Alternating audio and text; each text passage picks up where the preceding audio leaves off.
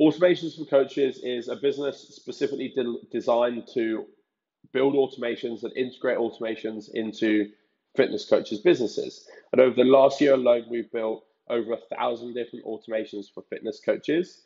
And one of the biggest areas to look to automate to increase number of sales calls coming through and ultimately increase the revenue in the business is the sales process. One aspect of the sales process would be posting the day's sales schedule into a Slack channel, say, to then easily allow team members, or if it's simply a, a one man band running the business, allow that individual to, to monitor that day's schedule. So the way that it would work is you need a series of softwares.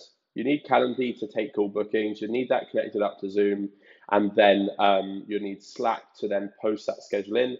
If you're not taking calls on Zoom and you're doing them via phone, I would 110% recommend moving across to Zoom. It's a lot more personal, especially if you're selling higher price points. We work with a wide range of coaches, from those just starting out to those earning multiple millions a year from the fitness industry and selling pr- programs and services for multiple four figures, potentially even five figures. And the ones doing that, they sell via Zoom because they can be a lot more personal.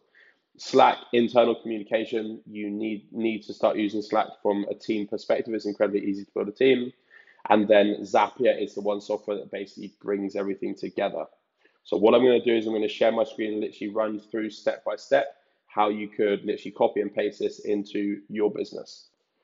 So the way that Zapier works is we, we create what's called a zap. A zap is basically a long list of tasks that perform that task automatically. And the way that it works is you have a trigger, something that starts the automation off, followed by a series of actions that happen following that trigger being triggered.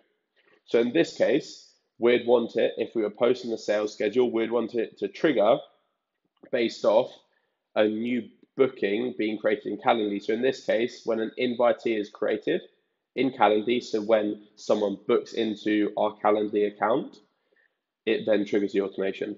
Naturally, we have literally hundreds of different calls being booked daily, be that client calls, be that internal calls, be that onboarding calls, be that intro calls, be that walkthrough calls, lead gen calls. We, have got a, a, crazy amount of different calls being booked. And for the coaches we work with, so, so do they. They've got multiple different consult calls for different coaches, for different closers. They've got internal catch up calls. They've got a load of different calls. So if you didn't have step two here, you didn't have the filter, it would simply continue for all call booking events in Calendly, which obviously isn't ideal.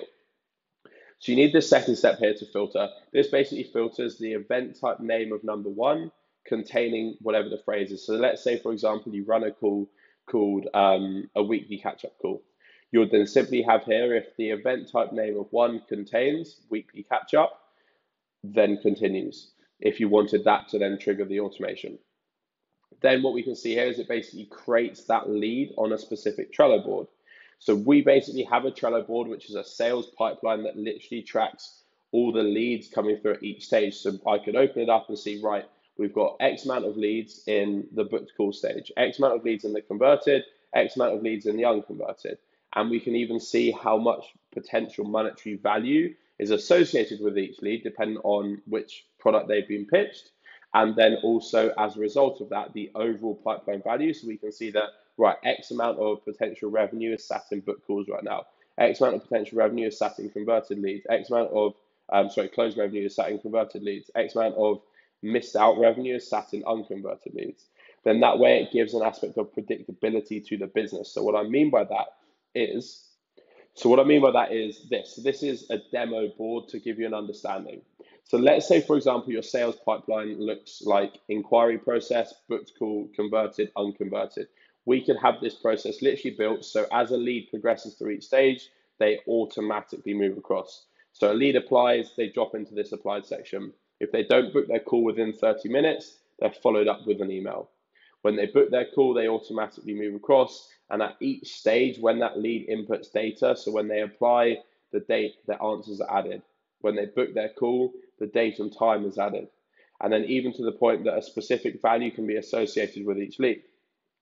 So, like I said, we work with a wide range of coaches, some just starting out to those earning multiple millions, and naturally, obviously, price points different. Some coaches charging a few hundred pounds a month, for those charging literally five figures for their coaching program. Average retention rate for fitness coaches is between six and 12 months. Say you sat in the middle of that at nine months. And then let's say, for example, on average, you charge £200 a month. So then the lifetime value of that client, in theory, would be worth 1.8K. So that lead can be assigned a value. So you can see that this pipeline value is worth 3.4K. But if this lead didn't book their call, they'd be worth 1.6K in the applied section. And then this pipeline value will adjust shortly to then give you a perspective of the value of all the leads at each stage. So that's where this lead is then being added into from that Zapier automation. And then following this, a specific label is added to that card dependent on the stage that they're associated with. So if they're say a booked call lead, they're then labeled lead. If they're then if they then close, they move to the converted section and get labeled closed. If they're um, unconverted, vice versa, it gets labeled and assigned accordingly. Then they're assigned to a specific member dependent on which team member they've booked a call with. So if they say book a call with um, one of our team members, they get assigned that specific team member on Trello so we can see who's taking the call. And then the, the team member also gets notified that a call's been booked with them. A specific comments added to this card that we've created. So then it says the time and date and the event name that that call's been booked that lead that's booked the call is updated in ActiveCampaign. So then they're sent a drip of emails pre-call to sell the call, to break down any sort of objections pre-call, but also then um, sort of run through the benefits of the call, not not really the program, but the call, because then the, the show rates of the call are going to be even better. And then on that call, obviously the program is then potentially sold. So then it's easy to increase show rates because the call is being sold, the value of it, because it's ridiculously valuable for coaches. And then on the call, obviously the program sold. So then for fitness coaches, um, that could then send them out an email drip before to their leads before calls, and then also updating tags onto that specific contact and ActiveCampaign. So it's easy to see overall which leads have booked calls in ActiveCampaign. And then let's say, for example, you did a regular email marketing campaign to, to leads there it'd be easy to filter out which leads you want to send it to and exclude the ones that are currently booking in for sales calls. And you, so, so you can then simply filter which sort of email marketing campaigns are being sent. Then basically a message is posted in a Slack channel with all the booking information, all the, the, the lead data, everything like that into a Slack channel so the team get notified. Then um, the contact is made in Google Contacts, which automatically syncs up to my phone contacts in my phone. So I'll then literally open up my phone and then um, type it, go into contacts, and that lead would literally already be there. So then it's incredibly easy to outbound pre sales call to just confirm the call booking. Then we use Monday as a CRM system in addition to Trello. It has a huge list of benefits Monday, so I would highly recommend.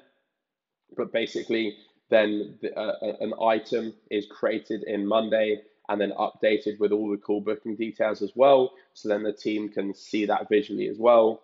Then we use a numbers format to pull out the specific um, date and time of the booking. So the way Calendly book it is that when it's booked, the formatting is not always the way that we want to visually see it. So we use the numbers format and the date, um, so the numbers format to basically format the date so it looks more visually appealing. We update that in our spreadsheet that tracks all the leads in the business. We then basically format the date here. So we take the end, uh, we, we take, sorry, the start time of this booking here in step one, and we minus um, a specific period of time from it, be that 24 hours if we wanted to get alerted 24 hours before, be that 12 hours if we want to get alerted 12 hours before. And then we basically just delay until that specific time. So in our case, what we do is we format the numbers. So we, we format the date, sorry. So we simply just get the date and we exclude the time. We then delay until that specific date at the specific time, which in our case is 7 a.m. Um, London time. We're based in London time zone, but whatever time zone you're obviously based in, that can be adjusted to. And then we use the text format to format the message we're about to post in the Slack channel and then we post it in the Slack channel at that specific time. So then what you can see here, we have the trigger, we have the filter, all these tasks literally run, and then the automation will literally sit here and wait until, in our case, 7 a.m. on the date of that call booking before posting that message in the Slack channel. So I can open up, I open up Slack, I can wake up, open up Slack, and literally at 7 a.m. bang, I've got a, a message with all the, the the calls booked in for that day. So it's incredibly easy to stay on top of all that and manage staff members as well. So as you can see here, for every single call booking that we have coming to the business, we have 18 tasks that would be manual, literally fully automated. And that's just simply one call booking coming in. So in the business as a whole, automating over 20,000 tasks a month is ridiculously time effective. And it means I can obviously then pivot my time into tasks that are going to be higher ROI for the business and move the business forwards more. But inside your fitness business, if you don't currently have a system like that, I would highly suggest that you do. It will make your sales process a lot more efficient because leads will naturally show up to calls better. Your show rate will be better. It will be easier to close them because they'll be more bought into the process. And then if you then, as, as you scale and if you build out a team, it's then incredibly easy to manage your team if you have these automations running in the background.